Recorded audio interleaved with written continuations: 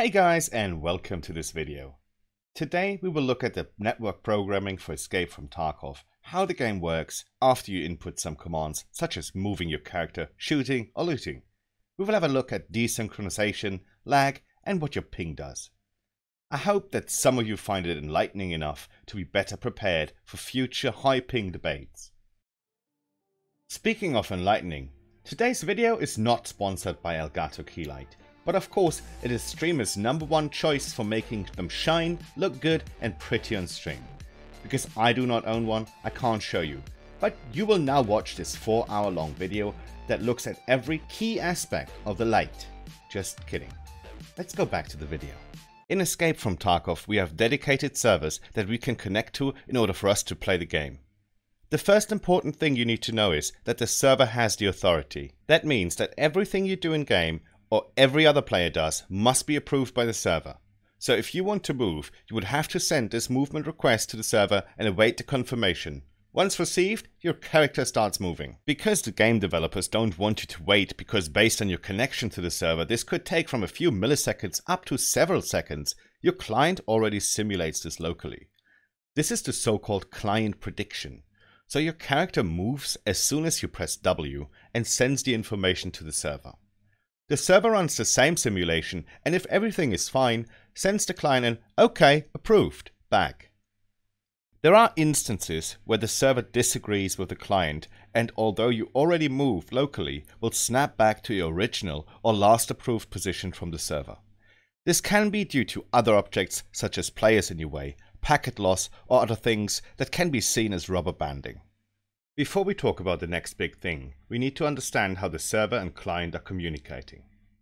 In order to send and receive information, the data packages need to go through different layers. Many of you probably heard of the OSI model. We will briefly look at more, a more simplified version as only one layer should be of our concern for now. At the very bottom we have our physical layer which would be the cables an example. On top of that we have the data link which would be your local network or Ethernet. Then comes the network layer with IPv4 and IPv6 and on top of that is the transport layer utilizing different protocols and finally the application layer. The protocols used within the transport layer are what we need to go through. BSG uses UDP as transport protocol that does not take care if packets sent are received. This makes it fast enough for multiplayer games. When your client sends movement packets to the server, the server will intake them and send them back with agreed or disagreed, as we've already learned. Let's assume packet 2 is lost on its way, which is a normal event that happens ever so often due to the nature of the internet. The server only receives packet 1 and 3, but he knows that packet 2 got lost. So he runs the simulation for 1 and 3 and concludes that it's okay. Then sends back the agreed state for 1 and 3. On the client side, the player would not notice that such an event occurred.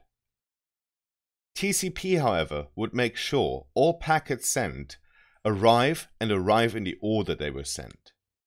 If one packet was missing, the server would wait for this packet before it sends the agreed or disagreed state back to the client. This would cause extra loops on the server, increasing the time of communication between it and the client. The next topic we need to tackle is desynchronization or desync. As we've learned, the server has the authority over all the actions, but your client predicts what could happen before it receives confirmation. Although this gives you a very smooth user experience, you are already out of sync with everything until you get a new state from the server. For you and the entire game. You usually won't notice this desync because of the client prediction and the modern connection speed being very fast. However, there are multiple reasons you might.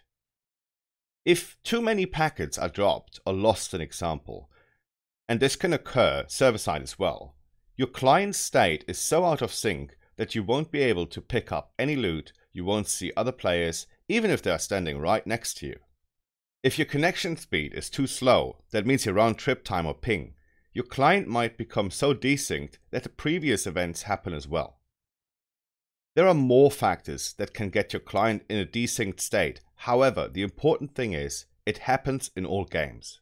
The fine tuning of the netcode as many would say, can resolve a lot in terms of user experience, but the two things developers can't control is the internet and your own PC power. So they have to accommodate a lot of different users from the location to PCs and internet connections. Of course, the power of the server in terms of CPU, RAM, etc., and the way it processes information, meaning its code, or runs simulations, is something they can, but as I said, it's not the only factors. Let's dive into the RTT or ping topic for a moment. Most people will try to connect to their nearest server possible. The distance will be short enough for them to have a ping around 30 to 90.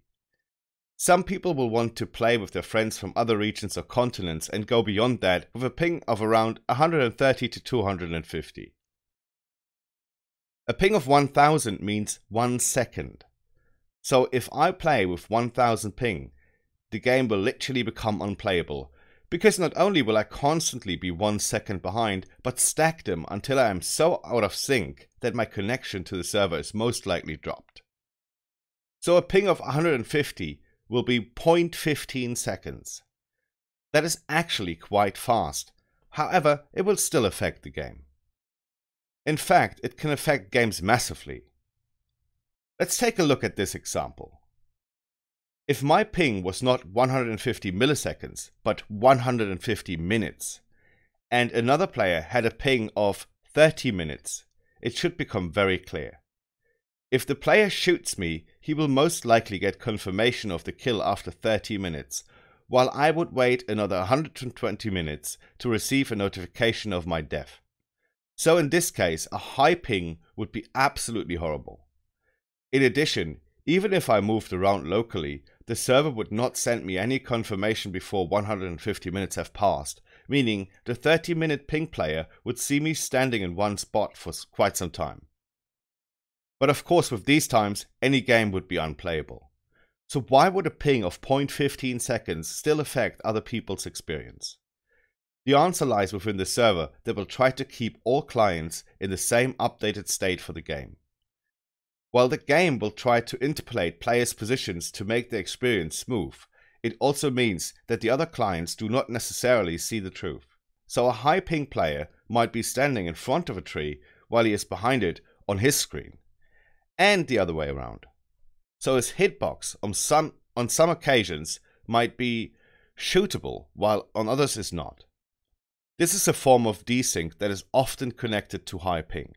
As we now know that the server tries to keep all clients in a synced state, we can see the difficulties with clients connecting to it, each with a different connection speed. The slowest client therefore would dictate the state of the game. But again, it is not as simple as that, since we know the server would drop a high ping client at some point, packets get lost, etc. And that is one of the key points often mentioned when devs talk about high ping players affecting the entire game. For now, we are through with the basic introduction to how Escape from Tarkov functions from a network perspective. We can conclude it by saying that high ping is not a guarantee for any advantage over low ping players, quite the opposite. Let me know if this helped you, if you need more detailed information, and what your experiences are so far. Thank you very much for watching, and I hope to see you in the next video. Bye bye guys.